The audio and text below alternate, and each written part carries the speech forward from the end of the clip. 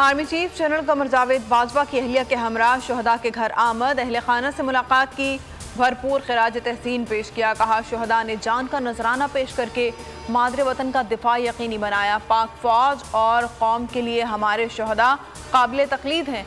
Army ने ईद फौजी जवानों के साथ मनाई। नमाज़ ईद में मुल्की सलामती अमन इसकाम के लिए खसूसी दुआएँ की गई। ईद के रंग खुशियों के संग शहर शहर नमाज़ ईद के इज्तमात लोग गिले शिकवे भुलाकर गले लग गए। घर घर पुरतकल्लुफ दावतों का सेशन चल पड़ा। मेहमानों की लजीज पकवानों से खातिर तवाज़ो।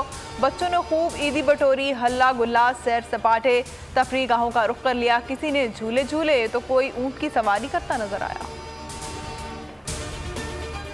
और इमरान खान का ज़िंदगी के आखिरी लम्हे तक चोरों डाकुओं के खिलाफ लड़ने का अज़्म कहते हैं, मैं जिहाद कर रहा हूँ। जेल जाना छोटी चीज़ है, जान की कुर्बानी देने को भी तैयार हूँ। बाईस करोड़ के मुल्क को धमकी देना शर्मनाक है। आप टिश्यू पेपर की तरह इस्तेमाल होंगे तो दुनिया करती रहेगी। जरदारी और नवाज़ को खुददारी की फ़िक्र नहीं, मकसद सिर्फ़ पैसे बनाना है।